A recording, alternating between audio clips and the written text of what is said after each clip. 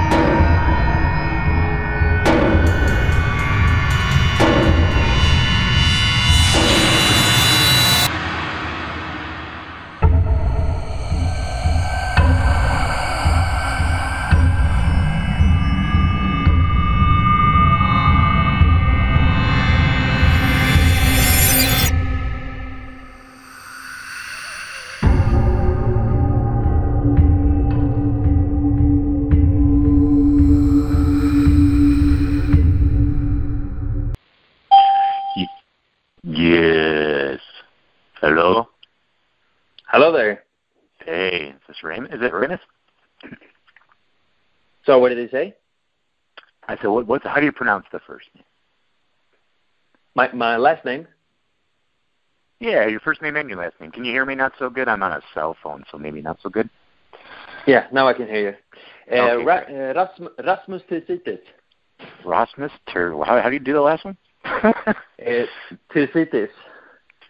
Tirzitis. Yes, that's right. Okay. Rasmus Tirzitis. Oh, right. I'll try. I'll try to do my best on that. Hey, this is Chris Mosier. How are you? Yeah. I'm doing good. How are you? Okay. I'm doing well, thanks, man.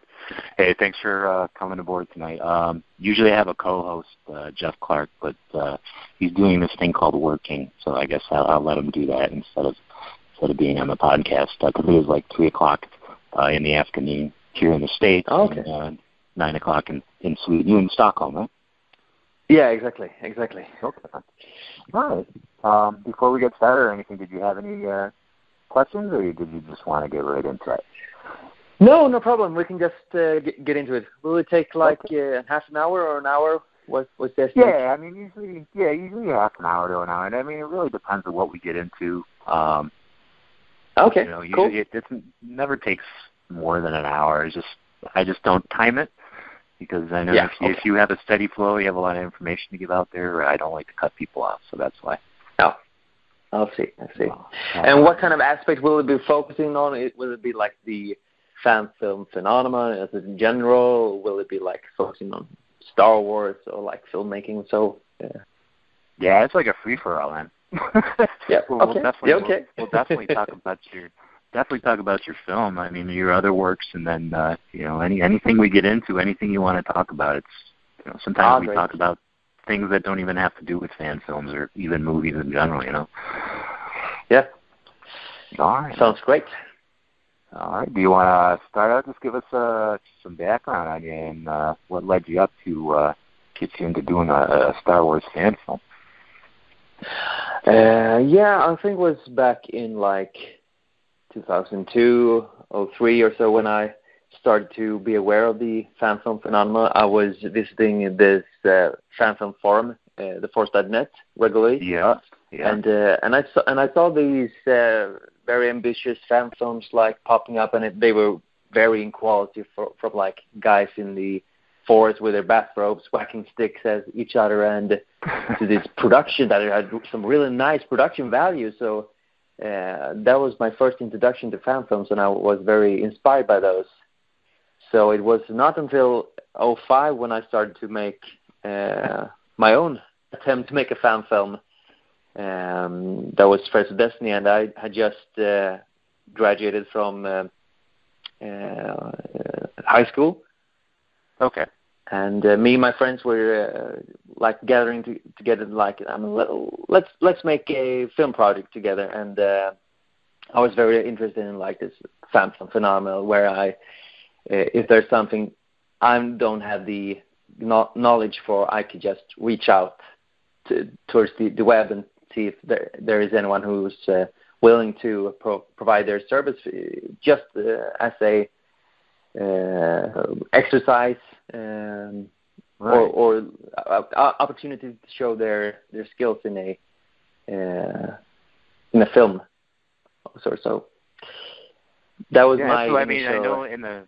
Oh, I'm sorry, I didn't mean to cut. I was just going to say, yeah, I know in the states. No problem. I mean, the the fan film community is kind of a, a knit group because you always you can't always connect the dots. There's always like one group, and there's a couple people in that group that know another group that's making another fan film, and it all seems to connect in in a weird way. I don't know if you experienced that because you're uh, way over in Europe there, but um, in the states, that's kind of how it works. Yeah. Well, here it's completely different. Uh, it's uh, super rare that uh, people making fan films back in the day. I think there are a few more now, but but only a few because uh, past years I've been at these uh, convention and there have been people approaching me and talking about uh, their fan film projects and showing me their stuff. So uh, it seems to be a, a growing um, phenomenon here as well, but uh, not in a way that you can map out. Uh, oh, we're doing a fan film over here, like, like- like you said in the states. Right, right. It's like that seven degrees of Kevin Bacon. You, you you're aware of that? You know who Kevin Bacon is, obviously, right? Yeah, of course, of course. It's like, do you ever you ever hear that game, Seven Degrees to Kevin Bacon? No. oh, it's, basically- it's like the Uh-huh. yeah.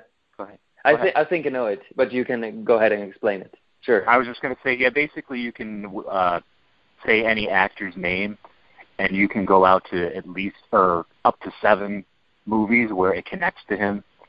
Yeah. So you you say, well, you know, one actor's been in a movie with this other actor, this actor's been in another movie with this actor, and that actor was in a movie with Kevin Bacon. So that's like oh yeah, yeah. the big joke. oh, let's see. Well, back in the day uh, at the 05 when I was starting up making this this this project, and I was talking to people about it, uh, most of them were like, "What? What do you say that you were going to do?" You're like, "Nuts? A Star Wars film?" And you're Yeah. like, "19? What's that?" uh, so uh, I have. To, I'm super grateful for my my team and uh, my cast and crew who um, believed in me and the project to um, voluntarily uh, participate in during the weekends to to make this because uh, I first thought, well, the post production is just going to take a year or so to to finish it, and Right. in in the end, I, I I didn't really estimate how, how much time it would take, so it uh, landed at like nine years to finish it. So Wow, yeah. but it's a feature. I, I I can I can say that it's a one hour and forty minutes of uh, Star Wars uh, entertainment, and we pretty much got everything that uh, the Star Wars movies got: like space battle chases, lightsabers, the bar fights, everything except the budget. Right. exactly. A lot of it was green screen, right? If I if I'm looking at it correctly. Yeah, exactly, exactly. Uh, that was our way to uh, sort like in a cheap way uh, being able to film most of the stuff because uh, like 80%, 90% of the film is created in the computer. Right. Uh, and uh, basically what we could afford we filmed. So that was like we built a green screen, we made the costumes, and uh, I had a friend's camera that I borrowed so we could shoot the film. And it was like uh, I had to figure out later how we're going to uh, make this uh, all come together in, in the end. Yeah. But, so we, in a way, had to invent a wheel to to get uh, this thing going because that's also one of the aspects of why it took nine years to complete. It's not only the fact that it was uh, 1,897 visual effect shots. It's the thing Wow, that yeah. where do I find all the people who can help make this thing? Right. Right. Because we didn't have over the world- Facebook and YouTube uh, uh, in the same way. Right. Uh, Yeah. Yeah. So yeah, I was like, MySpace so- thing. yeah, yeah, exactly, exactly. That's so fun because I still get notifications from uh, Really? Destiny. Uh, we have still have our MySpace page. I think. Yeah. it's fun. like, oh right. And also back in the day, uh, since we were making a feature, we weren't able, uh, not sure how we were going to put it up online. Because Yeah. nowadays you can po- post anything like there's no limit almost how how long something can be. But back then it was like, hmm, maybe we should cut it up into 15 minute sections and release it that way. So technology, in a way, caught up in our ambition. Yep, absolutely. Internet speeds are, are faster, and you know you used to have that at least here AOL.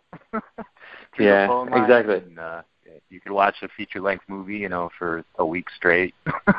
it just Yeah. it kept buffering and yeah, times have changed for the better.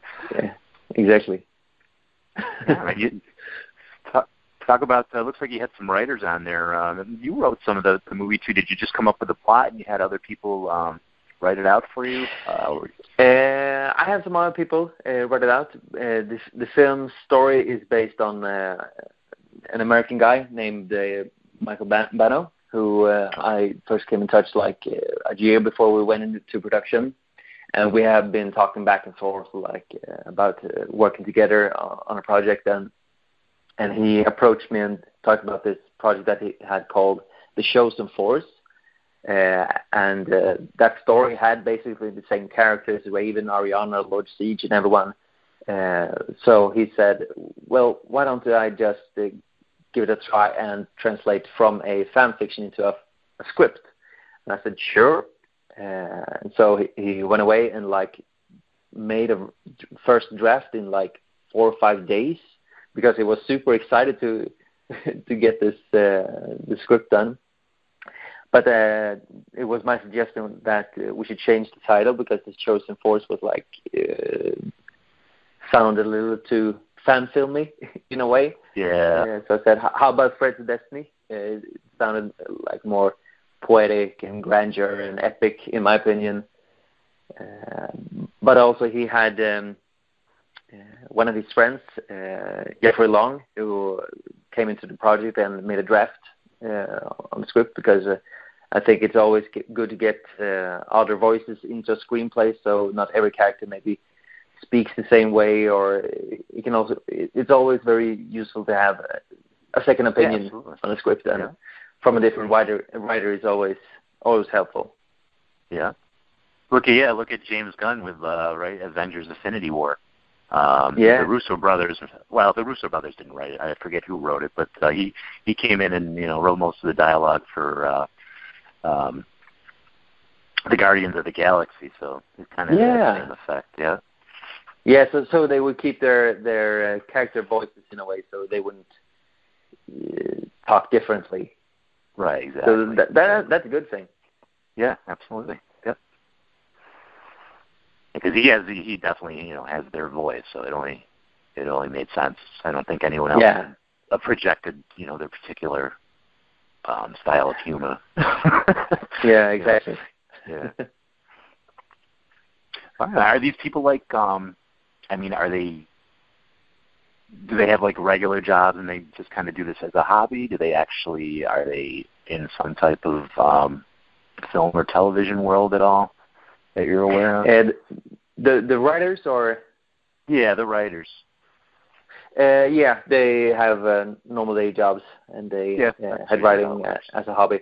Yeah. Yeah, that's usually. How about yourself? You just kind of kind of make films on the side and have a a regular. Well, from from, Yeah. from time to time. Uh, Right now, I have two small children, and uh, for me, right now in life, uh, working as freelance uh, filmmaker is not ideal. So I have Right. quote unquote a normal day job. I Yeah. uh, w- work as a teacher, Oh, okay. and uh, I have my uh, film company on the side. And I make uh, commercials and film trailers.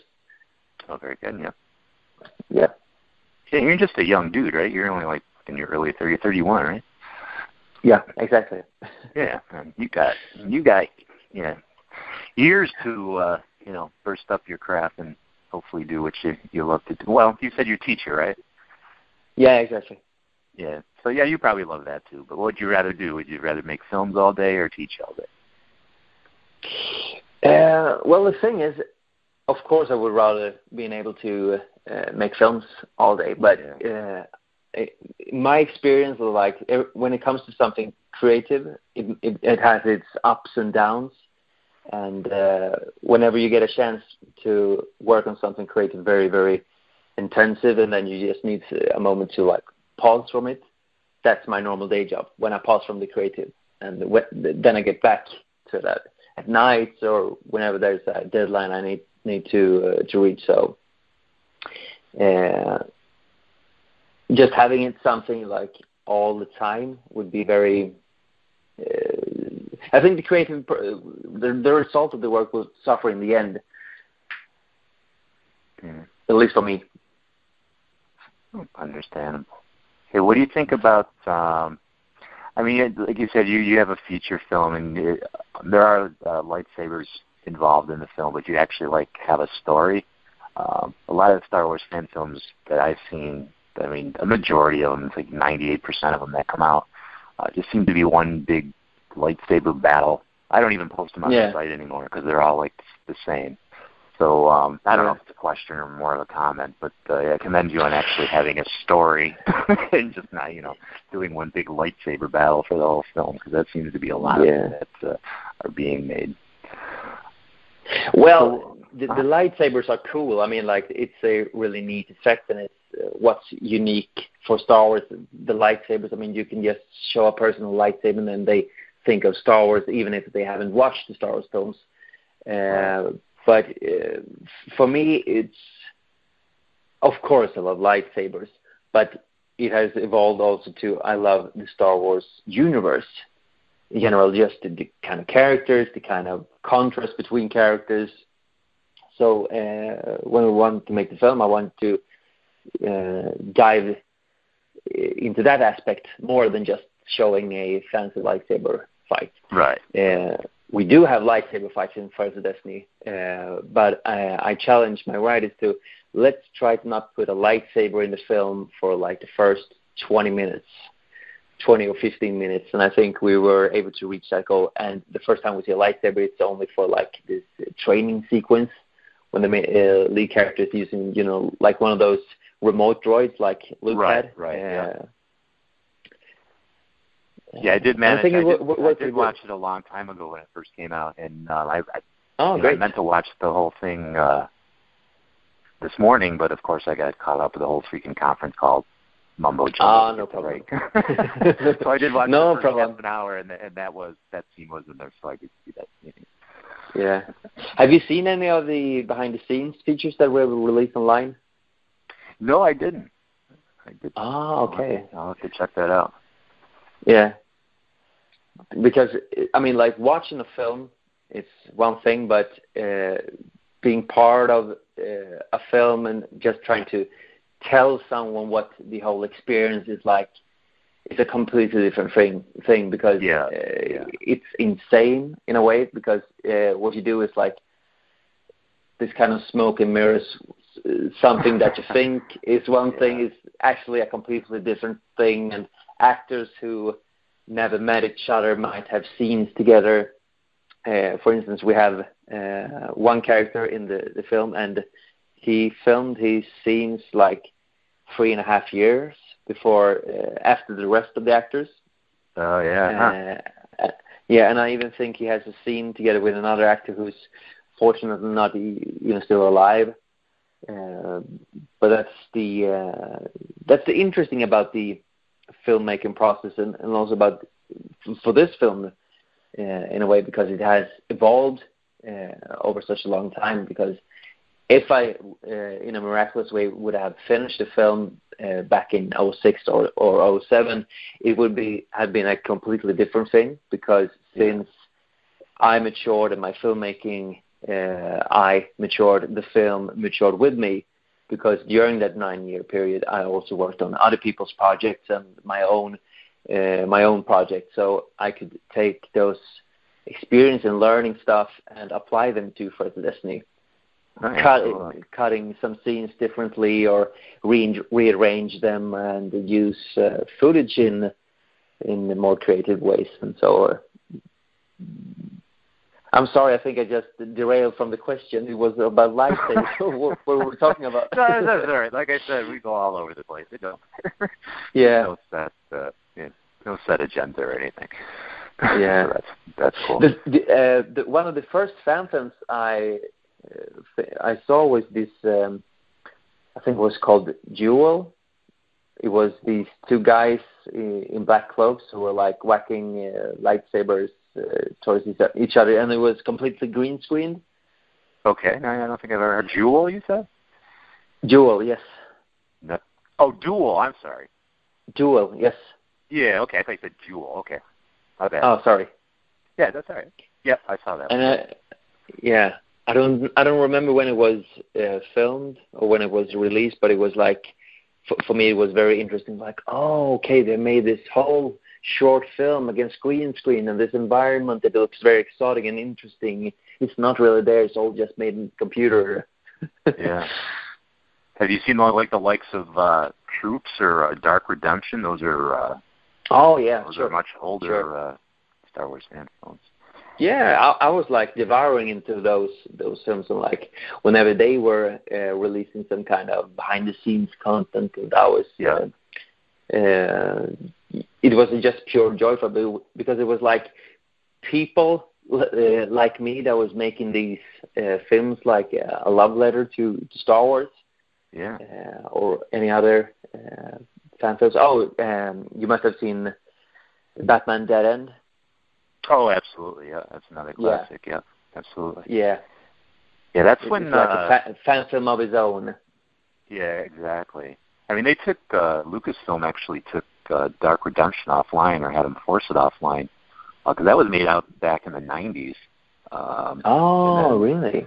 Yeah, and then they changed their. It was weird. They changed their whole focus, and then Lucasfilm came out with the, the Star Wars Fan Film Awards, so they kind of changed gears Yeah. on that, the thoughts and everything. But yeah, once upon a time, uh, they were taking these things offline, and pretty much most of the, you know, companies pretty much leave them alone. Um, Yeah. Well, they they did take uh, of Destiny down as well, so. But that was uh, due to the um, John Williams mu- music that we used in the Oh. opening credits. Gotcha. Okay. Yeah, so that was a real bummer because uh, we almost had uh, 10 million views on the film, Yeah. and then I got this. Uh, uh, I'm not sure what it's called in, in English, but I got this letter from from them via YouTube that they were making cease, a claim. cease and desist. Yeah. Yeah, exactly. And I was just trying to make like, oh, this this is just uh, an um, uh, a showcase of people's work. We're not making any claim or anything Star Wars related, and uh, yada yada. But uh, in the end, it was not uh, good enough, so they uh, took it down from the web, and it was Yeah. it's a pity. I don't think they really care anymore because I see, you know, fan films using John Williams music all the time. So I think they've kind of Yeah. off it. Uh, I mean, what can you do? You got so so many people out there. They take the movie, they upload it themselves, and kind of a Yeah, battle exactly. at this point, right? Well, in, in the end, I, in the end, I I kind of got uh, what I wanted from the film. Uh, I got uh, the the film released, uh, finished, uh, and uh, a, a great deal of people saw it. Uh, before it got uh, took down, and I mean, even if uh, Disney wants to the film to be erased from the internet, it, it, it's impossible because it was spread across the world for like three Right, years. exactly. Yeah. Yeah. That's why I don't think they really, you know, expend too much energy anymore going after. No, exactly. Like I said, it's a losing battle. Know? Yeah, exactly. What's uh why don't you talk about the special effects a little bit and uh who you got to do all those? Oh, sure. Uh, well, where's to start? I, I could actually uh, talk about my lead visual effects artist, uh, Andreas Okay. Fikes, uh, who's from Germany, and that I got in contact with in 07. Uh, talk about this project, and uh, he, in the end, made like uh, almost half of the visual effects in the film.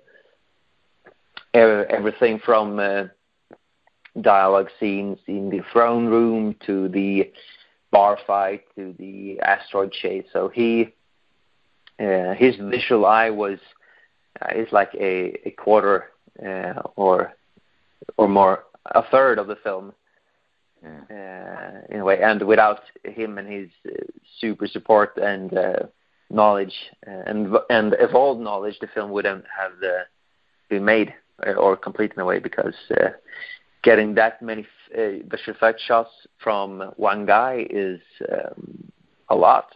Yeah.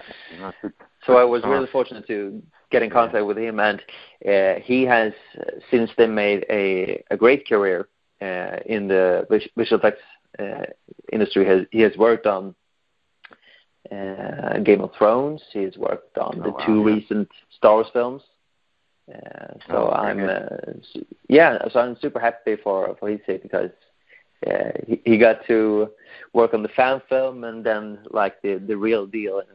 I'm uh, yeah really happy, and also his story uh, is the same for like a few other team members uh, who also worked on Threads of Destiny and has since then worked in the industry on in ILM or any of the other big visual effects houses.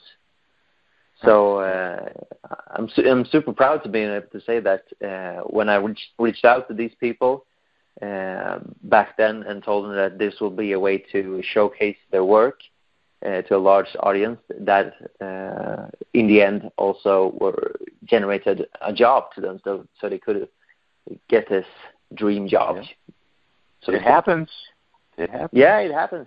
It happens. Look at uh, yeah, Kevin Rubio with uh, the guy that did Troops. He went off and uh, wrote a bunch of Dark Horse Star Wars comics. So Yeah. Yeah, in some cases, you can it can generate uh, actual work. Go figure. Exactly. Exactly. But uh, and that's that's the thing uh, that I talk to people about. Uh, it's not like uh, 10 million views wanted to see a film I made. They wanted to see something Star Wars related. Just Right. have those two words, Star Wars, uh, gets people attention. And let's not forget about that. This film was made during the era where there was no more Star Wars. We started uh, post uh, Revenge of Revenge of the Sith, and the film was released a year before, a year and a half before Force Awakens. So it was like this almost 10 years period when there was going to happen no more Star Wars. Right.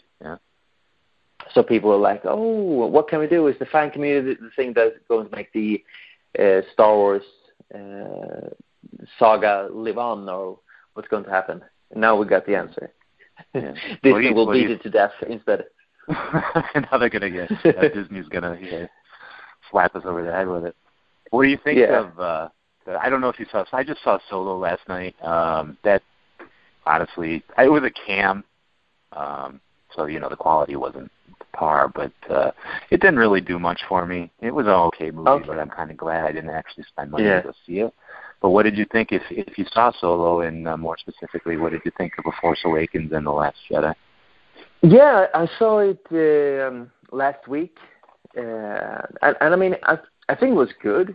Uh, I had to sort of um, check my adult brain uh, at the door because right. ev- everything that me as a adult self, uh, what what I want from a Star Wars film will never happen. Yeah. will- we, we we will never get these dark, intricate stories that still are these blockbusters. That will never happen. Yeah. So, but in the end, the films that I wanted to see when I was a kid and a teen, they are uh, being released now. It's like a new Star Wars film every year. Uh, there, there are these gluttony of uh, superhero flicks every now and then. I mean, like it's it's a great period also to be a Star Wars fan because uh, now we are getting more Star Wars films.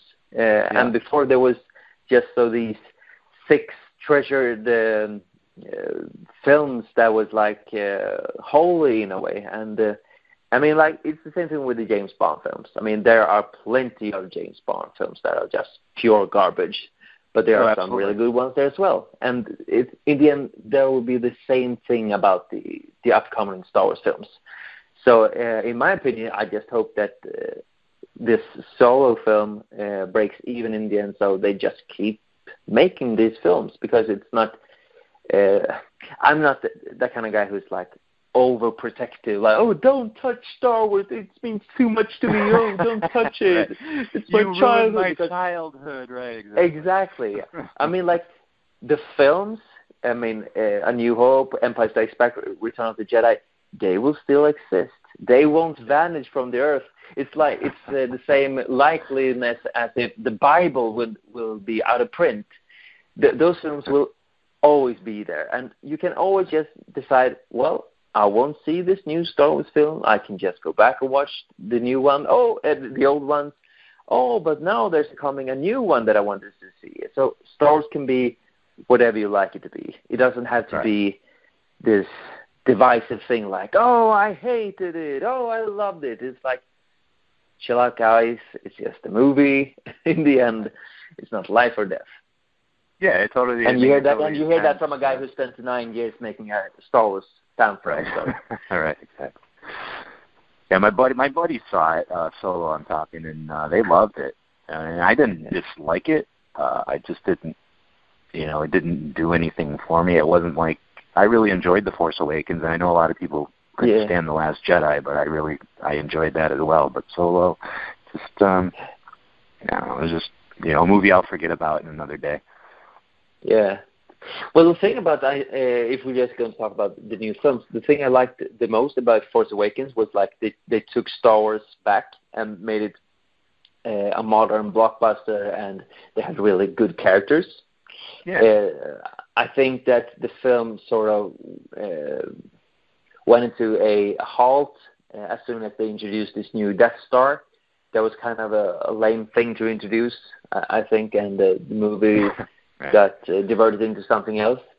Uh, but uh, the characters, what was uh, what I fell in love in that film, and then uh, uh, the next year when we got uh, Rogue One, uh, Oh, I yeah, really was liked great. the Yeah. the I really liked the premise. I really liked the aesthetics, the visual uh, look of uh, Rogue One, uh, and I think that the characters were good, but what they were missing in that film was uh, a lead. Uh, and uh, I, I think that uh, what was the character's name? Jyn Erso. Uh, her character, she was there, but she was was not making any active character decisions. I mean, like she's more like the the, the tag along for the ride for the most part of the Mhm. film. And in the end, she, spoiler, she doesn't even get to kill her uh, father's killer. yeah. Some other guy does that. So that was maybe the biggest issue I had with with the Rogue One. Uh, I haven't revisited that film that much, but uh, when I think of it and the things uh, that I liked and disliked, I think the the likes over um, what's it called? There are more likes than dislikes in Rogue One. What's that now? And that about- again. Uh, there are more likes than dislikes about Rogue One, in my Gotcha. opinion. Okay. Yeah. Yeah. Yeah, absolutely. A lot And- of people bitched because um there wasn't a lot of characterizations for the main characters. It's, yeah, that didn't really Yeah. bug me. Um, you know, maybe I'll make it up. you know, maybe Yeah. the viewer kind of make up their backstory. You know, so that didn't. Bug me. Yeah, exactly. Uh, and about the, the Last Jedi, I think the stuff that I loved was everything that Rey was involved in, uh, and Kylo. I think uh, those are really strong, interesting characters. Uh, I think Poe's journey in the, that film when he um, he, he uh, ah never mind you, you you've seen the film so uh, I think that was very uh, very interesting as well but the, the thing that was like uh, really killed the film for me in a way was the whole uh, side story with Rose and Finn but Oh, that's yeah, like yeah. kicking up an open door everybody has complained about that so Yeah. it, it was a pity because uh, I had this really high hopes for where the the story could could take us with uh, the Last Jedi, because the the trailers looked so very promising and it had this like dark attitude to to uh, to it, and I was like, my mature Star Wars fan in me was like, oh, could this be it? Could this be the the Star Wars film I've been looking for? And in a way, it was uh, because uh, it did take some new um, new grounds that, that had not been um, uh, touched before in a Star Wars film, but also there was like this humor in it uh, that did not really uh, walk hand in hand with me. Um, like the the iron that that was like descending and we first I think it's chip and it turns out to be an iron that is uh, ironing in the, the uh, officers' uniforms. Uh, there was like, oh Yeah. god, they went there. And big Soul, bitch I mean, with it, it- um, Yeah, uh, is that uh, okay? The first, the Force Awakens. Um, you know, they spend the whole movie looking for the map to find Luke Skywalker, and supposedly Luke Skywalker put, you know, put the two pieces in the map and the droids or or sent it out there and then the last Jedi he didn't want anyone to find them. So why the hell did Yeah. he, you know, send out the map in the first place? So that was like yeah, big, exactly, exactly. big uh, The- plot hole. I think that that if if we're going to go in and try to fix uh, Force Awakens, I, I think they should have made the map into more pieces, so it would be like this puzzle that they have to find these different maps uh, to piece them together, trying to find him wh- or where he was uh, most recently. So so because it's like now it's like this huge map and there's like this missing hole in it. it's like that's stupid. I mean, uh, they should have at least divided into three or some sort of a, it could be like the first order has one piece and the resistance has one piece and that third last piece they're trying to define in a way and they could have stretched it it didn't have to be just one film trying to focus in on the map they could have stretched it even to the last jedi and have uh, them finding the piece in the first act of the last jedi and uh, then meet luke but oh well yeah. what Well, I mean, do? basically, The Force Awakens was just, you know, when you get right down to it, it was just a remake of A New Hope, anyways. yeah but it was awesome to see han solo back in the game Oh, absolutely. Yeah, So- yeah. yeah And people bitch about, you know, him dying, but Harrison Ford wanted his character to die, you know, in the original uh, movie. Yeah, exactly. Exactly. So, what made you? Just this is just a side note that uh, I wrote down here. Um, what made you decide to uh, do the film in English? Oh well, it's actually um, it Star Wars in in Swedish, and the dialogue uh, doesn't sound that really sexy to it. I mean, like uh, if I should say uh, "May the Force be with you," it would sound sound like something like "Må kraften vara med dig."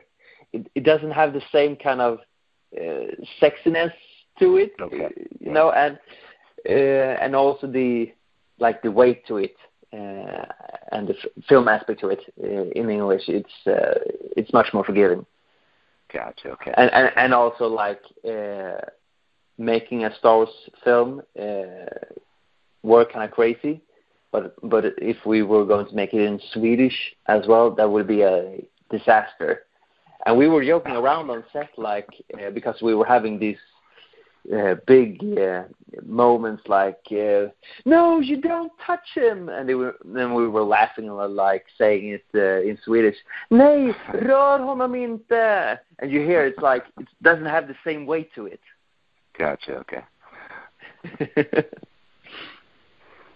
Uh, did you want to touch on uh, any any of the actors? Who's this Paul L. Elafaslan? He's in some rock group or something. Is yeah, uh, Paul Paul Olofsson, who plays uh, King Juster, uh, he was back then the the, the most experienced uh, actor that we were fortunately uh, got on board. Um, he uh, had played in this uh, rock band that was called Nationalteatern here in Sweden, and uh, he had I mean, is that a well-known band in Sweden? Yeah, in yeah, in a way, uh, it was very big during the 70s and 80s. Gotcha. Okay. So uh, some of the more senior actors were like, "Oh, Paul Olofsson is here. How did you get him?" so so that was great. Uh, but but a fun side note about uh, Paul is that uh, his daughter is actually in the film as well. But in the film, she plays his wife. So the, Okay, the, that's weird. the, the, the queen, uh, the brown-haired queen, uh, Sabine von Gaske, Uh-huh. is actually his real-life daughter. Huh. Yeah, uh, because when we were uh, uh, trying to find uh, an actress to, to play the queen, uh, I meet uh, I met a lot of uh, older w- women tr- trying to to play this role, but none of them really had the the right English for it. And when I met Paul, he said, "Well, why don't you have an audition together with my daughter? She has great English, and she would probably love to do it." So and then I met her and was like, "Well, it's weird, but she she looks great and would be perfect for the part. So why don't you just give it a go?" Yeah. Huh. Yeah. little trivia, little trivia there. Yeah. Exactly. Exactly. Anyone else in the cast as far as um I mean, do they do this is this kind of their their side thing, their their hobby as far as acting is concerned? Uh, well, no. Uh, the, the guy who plays the lead, uh, uh, Paul Comte, uh, he uh, he's actually a uh, full-time actor now and has been since uh, we made a film. And he has uh, made, uh, f- for example, uh, uh, Mamma Mia, the the ABBA show. He's been involved in and uh, different kind of theaters and films. So uh, as far as acting, he's the the one who has made uh, most of an acting career uh, since then. Uh, but also the the actress who played uh, Arianna, uh, Carolina Neurath, she is uh, one of the hosts in a morning show on the national television now. Uh, so she's really well known. Um, Yeah, I thought she Nowadays, was like a, yeah. she was a reporter, right? Initially. Yeah, once upon a exactly. Yeah. Yeah. Huh. Yeah. and also in office. So she has uh, she she's probably the most well known of the uh, the cast cast members nowadays because uh, she gets this uh, huge exposure with uh, she's a reporter and then a news anchor and uh, stuff like that. So Yeah. and great. author as well. So she has a lot of things she's done, and I'm r- really happy for her as well because um, she, uh, she uh, had this very grand uh, act- uh, actress dreams, but uh, I think she, it, it was the right decision for her that she was like, I'm just gonna focus on, on writing and Yeah. th- this new stuff because that was her passion. We we we saw that during the, the making as well because she was talking about these uh, real world events with like his this huge passion and uh, um, mostly not uh, actors just talk about the, the craft of acting itself. You know? Mhm. So I think she, Yeah. I'm really happy for where she en- ended up at. Yeah, very good. And she's cute, so you know she's got Yeah. she's got a whole bunch of things working for her. Yeah, exactly, exactly. All right, man. Anything? uh Do you want to touch about anything you got coming up? You got anything you're working on? Something in the past that uh, you'd like to touch upon? Um, well, um, uh, during the, the last few years of uh, First Destiny, I, I started to produce this other feature um, that has this international title Ave Mater, but in Swedish, Sweden it's called Vilsen. Uh, and that then was uh, became my first uh, directorial debut. That was, it's a, a commercial film. Uh, Vilsen has gotten distribution in Scandinavia, uh, in Japan and South Korea, uh, and uh, will also be released in uh, the States sometime this year. Okay. Yeah, so that, that, that's pretty neat. Yeah. And also this summer, summer I will be shooting my next feature. Uh, that will be a uh, Viking horror story uh, called Rune of the Dead. And uh, some people that have worked on both uh, Threads Destiny and Vilsen will be reappearing. Okay. Very good. Uh, f- for example, uh, Andreas Ulander, who plays Lord Siege. Now, do you have distribution for these movies, or do you make it Yes. and seek distribution? Uh, for for Vilsen, we first made a film and then we seek distribution. But for uh, Rune of the Dead, we already have a uh, distributor uh, attached to the project. Okay, quality. Yes. And then, do you go out and look for um, in, investors? Is it just uh, your monies that you that you? Um, Yes, yes, we we look for investors to to put it into a movie, but uh, we are we're trying to make them uh, really cheap. Uh, I mean, I can't tell you what the budget is, but it's uh, below one million dollars. yeah. Uh, okay. So it's so it's like uh, an imp- independent film uh, on uh, an independent film on grand scale. So in a way, it's Yeah. um, the, the Well, same you know, same story in a lot as for cases, President and Vilsen. Yeah. Yeah. In a lot of cases, that's sometimes that's better. I mean, Yeah, exactly. people get carried away, and you can people get very creative when they don't have, uh, you know, the money to go crazy. So sometimes that's uh, Yeah, to exactly. me, anyways. Yeah, it's more interesting. Uh, they spent only this money on this, and it's always Yeah. uh, interesting to see you know the product that can be done at a minimal. And I've done I've been involved in uh, an Indiana Jones fan film, so I know how a little money can go a long way because we did a lot with a little. Yeah. So I can appreciate. Yeah, and I think like uh, mostly when when you get a lot, uh, you get a big budget or a budget, for instance, it, it's like the more money you have to spend on a film, the, the more your hands get tied.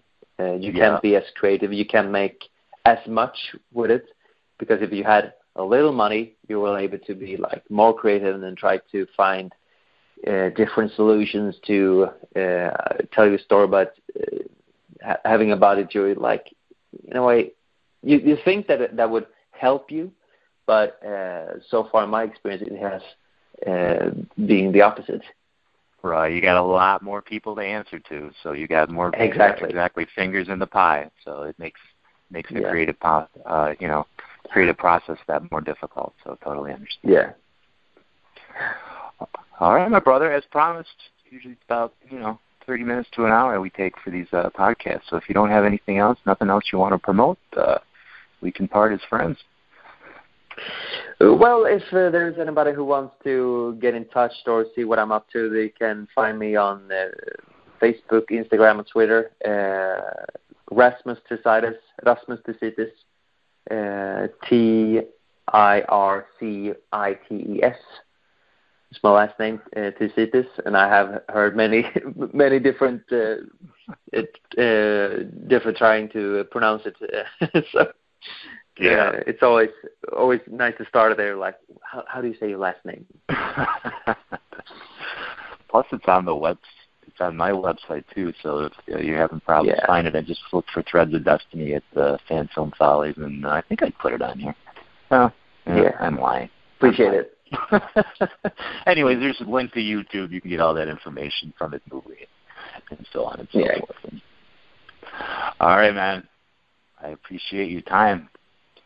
Oh, thank uh, you. It was real nice talking to you. So that's why I do this thing because uh, you know I watch these movies. I want to talk to these people. So you know we started a podcast just to give an excuse to you know talk to people like yourself. Well, that's great. All right, brother. All right, man. You take care, and uh, yeah, we'll talk in the future and uh, keep in contact. Mm-hmm. Hmm? Same to you. Take care. right. Bye bye. Take care. Bye bye. I see you're learning. If you think spouting.